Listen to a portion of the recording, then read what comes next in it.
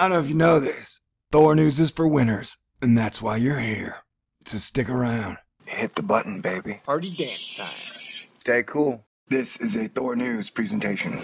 Thor News presents. All right, ladies and gentlemen, bear with me because I am totally freaking out on a personal level. Yeah, I'm freaking out and I'm barricading the doors. It's Halloween. That's what people like to do around Halloween is be scared, I think.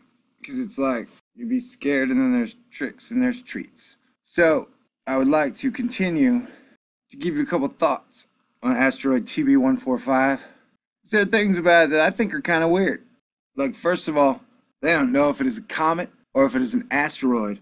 So I report they don't know what it is. So it is officially a UFO. You'd think they could tell us by now, with all their fancy telescopes, whether or not it was a comet or an asteroid. But oh no, we have no idea. We have to wait for it to pass by Earth and the moon, and then they will take radio video of it and then show it to us. Or something totally just like that. You might be asking yourself, photographs?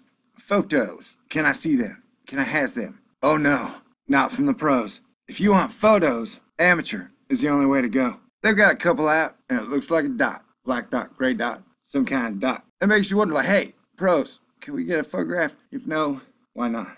I mean, I can only imagine why the pros can't take photos, or I guess more accurately, why they won't release them. Now, there's no need to panic. They say they have its orbit nailed down. It's zero threat to Earth, the people of Earth, and the moon. I gotta ask, what if it is a comet? Doesn't it have a nucleus, a tail, and a coma? What do those nucleus, tails, and comas consist of? How big are they? How small are they? How much debris is in there? Oh my god, I get an electrical charge just thinking about it. But who knows? I guess we'll find out in just like 24 ish hours. You know what I'm saying? You know what I'm saying? Comets, man. Those things get huge. Like Comet ISON was a third of the solar system or some shit. Okay, maybe I got that wrong, but it was giant. It was like 300 million miles. Uh, I'll put up a fancy thingy that shows you exactly how big Comet ISON's coma tail was. Now, a lot of people say that that thing is made of just like fine dust putting on a sparkly show. And that may be true.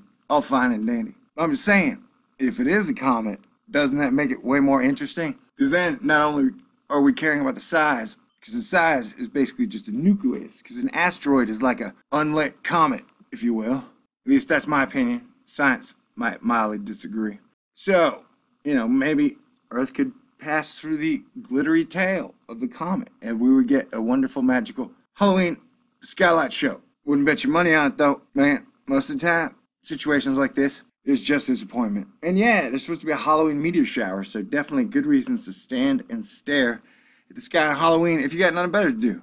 Um, and I hope nothing doomy happens, man. But so I plan to watch the skies on Halloween to see what mine eyes can see. I think overall, the message of this Halloween space rock is that Earth's asteroid defense system is pretty scary. And I say that as the Hefe of Asteroid Fight Club. Not only is it scary, it is totally weird. Yes, weirder and totally scarier than a nightmare on Elm Street. I'm in California right now. So I'll say a prayer for everybody. And everybody, please say a prayer for me. Comets are mostly made of ice. Whatever.